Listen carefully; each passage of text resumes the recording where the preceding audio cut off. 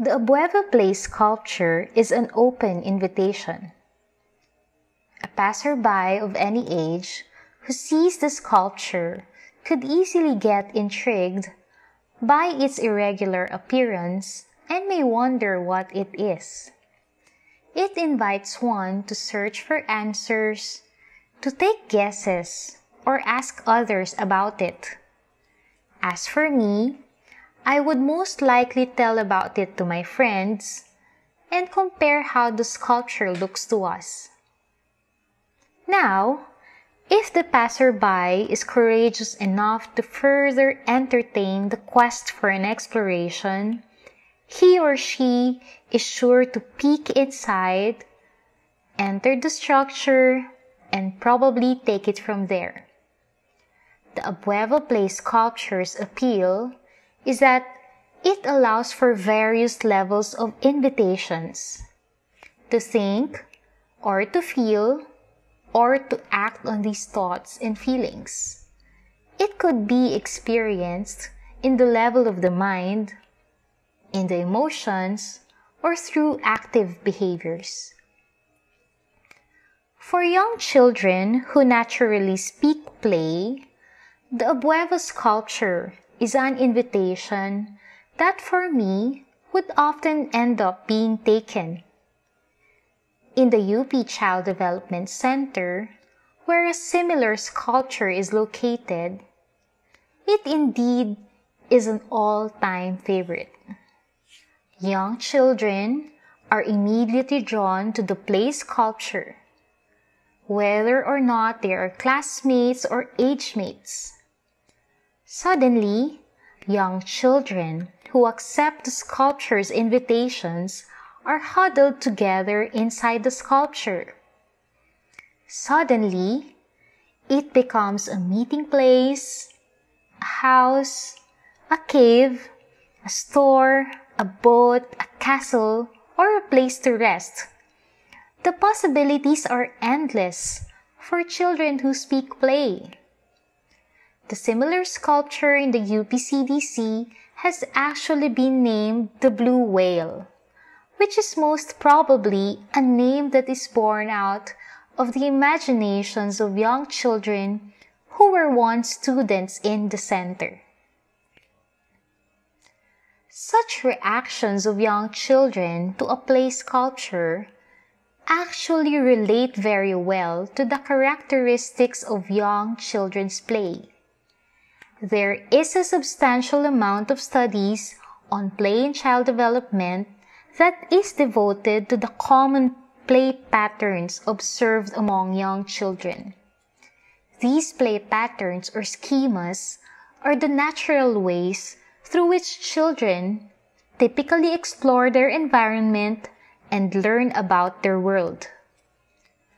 As adults, we actually often observe these schemas and perhaps we may not be too aware that they serve a purpose for young children's play.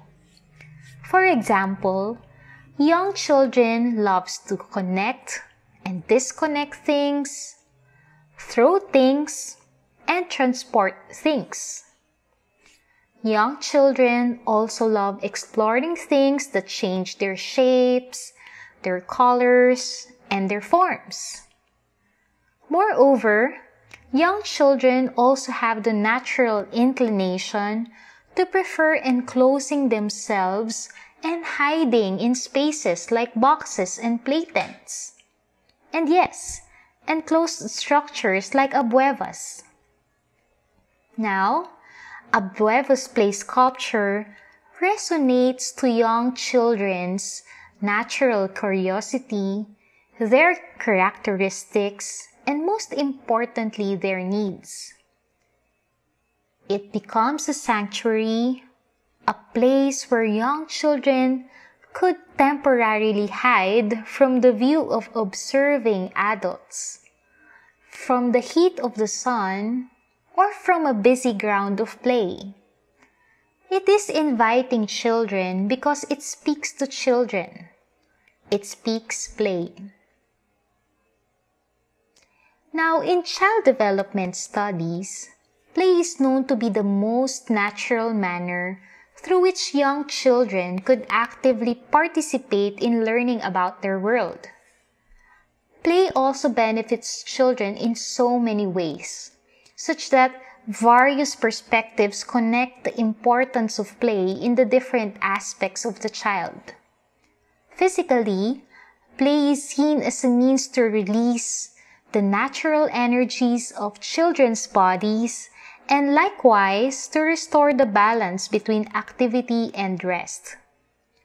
Cognitively, play allows children to experiment with different materials which could further ignite their imagination, their curiosity, and understanding of the world around them. Taking note without restraints from adults. Finally, in the social emotional aspect, play is viewed as the most child appropriate way to express one's feelings and to socialize with peers. Since play is freely chosen by the children, it gives them a sense of control, confidence, and freedom.